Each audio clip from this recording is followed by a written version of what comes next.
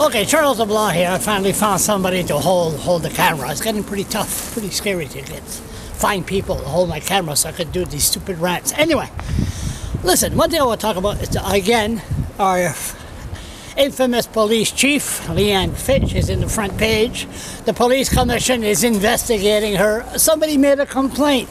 I made about ten. I wonder I wonder if they, if it's all, all the 10 one, especially labeling me as a pedophile. But anyway, never mind that. One thing, the cops, that there had been, everybody's talking about it. I was in Batters. The, the, they weren't even talking, the citizens weren't even talking about uh, Michel Vienneau that was shot a year ago yesterday. Everybody's talking about the cops in Fredericton. How come there's so much problem with the cops in Fredericton? There's a consular, I think, I'm not sure. But anyway, never mind that. Fredericton been in the paper, front page, all last week. The, the problem we're having with the Fredericton Police Force is communication. Leanne Fitch, Snow, Leanne Fitch refused to communicate with the public.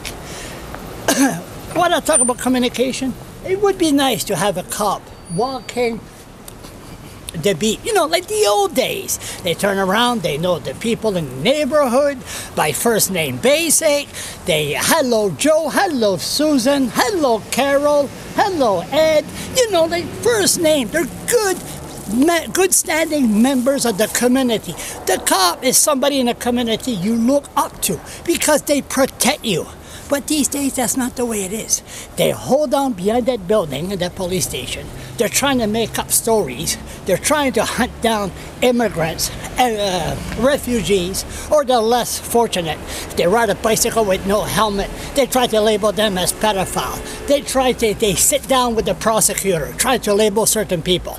They're not good standing members of the community. So my question is this, after this boring rant, how come we don't see a cop walking down the beat and enjoy themselves. You only see them about two times a year. A year! Just, oh my God, look at that, a police officer walking. What's the matter? Do they got too much steroid in their bodies that they can't walk?